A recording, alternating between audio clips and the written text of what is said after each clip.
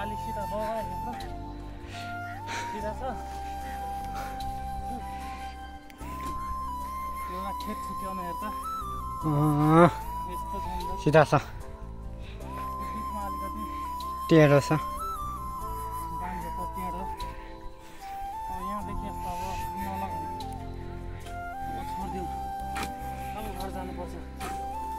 पुरानो घरतिर गएको थिएँ है।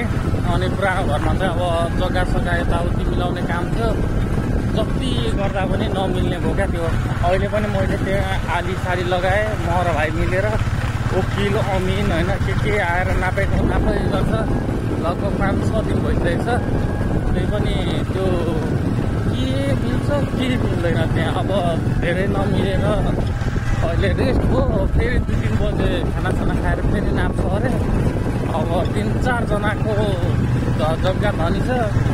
अब त्यो मिलाउँदा मिलाउँदा झ्याउ। अनि पुरा भोक लागेर मर भए त अब चल्दिए घरतिर। अनि हामी अब यहाँ रोड पनि आइसके यहाँबाट घर जाने हो। बरु हाम्रो नेपालमा यो जग्गाहरूको पुरा यो हुन्छ नि एकदम भाग भाग छुट्याइदिन्छ क्या। यो मेरो यो तेरो यो त्यसको विदेशमा खोइ त है बालुवै बालुवा हुन्छ न तेरो न मेरो। सरकारले बनाइदिन्छ सक्यो क्या? त्यस्तो हुनु नि हाम्रोमा पनि यो यसको सम्पत्ति यो सम्पत्ति गेर घटाना र भाइ। त्यही गर्दा गर्दा गर्दा गर्दा गर्दा खत्तम अब ल हामी सरासरी घर जानु पऱ्यो नुहाइ धुवाइ गरेर मलाई काममा पनि जानुपर्ने छ आज लास्ट किलो पनि गर्छ ल जाउँ अब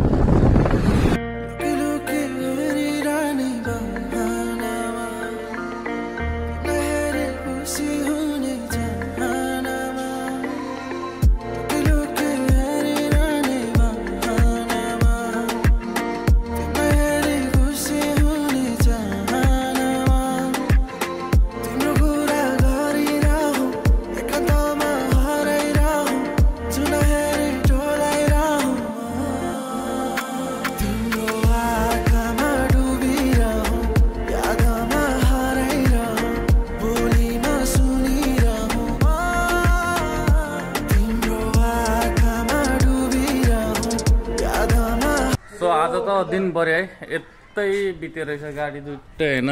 एउटा यो एउटा त्यो। जहाँको त्यहीँ छैन सर्भिसिङमा। कति छिटो मिस्त्री चत्रा पुगिसकेको अनि यिनीहरू अझै जस एउटा चाहिँ सर्भिस भइसकेको छ अनि दिनभरि आज यतै यतै कहीँ गएन अनि अहिले भर्खर बसबाट यत्रो सामान के बुस जस्तो के अगाडि लाग्ने त्यो लिएर आएँ। अरू त केही लिएर आएको छैन। कहाँ कहाँ जानुभयो? चत्रा? त्यो लिएर जाने अब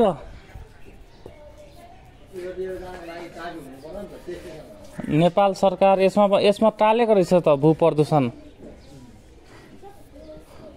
त्यसमा चाहिँ किन नटालेको? भौतिक पूर्वाधार तथा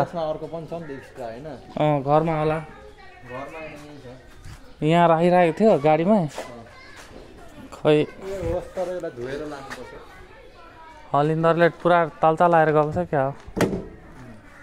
छोडिदिउँ न त्यसो चलिदिउँ घरतिर अब। त्यो अफिस जानु। अल्छी। चाहिँ घर सर पनि आइसक्यो अब चाहिँ घरमा खास काम छैन अनि मेरो भिडियो पनि छोटो मिठो भयो सो लाइक सेयर सब्सक्राइब गरिदिनु। सो ल बाई बाई